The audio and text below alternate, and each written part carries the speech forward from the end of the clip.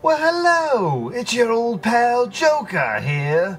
And when I'm not terrorizing the good citizens of Gotham City, I'm planning my trip to the Gem City Comic Con on March 28th and 29th, only at the Nutter Center. what a great name for that place. There'll be plenty of wonderful guests to put a smile on that face of yours, like Rob Liefeld, Greg Land, Steve Scott, Justin Wasson, I've never heard of him, Allison M. Dixon, Sean Forney, and Mandy Moore. I love her. Oh, I meant many more. and with ticket prices as low as $10 per day, you want to be billionaire Bruce Wayne to afford those prices.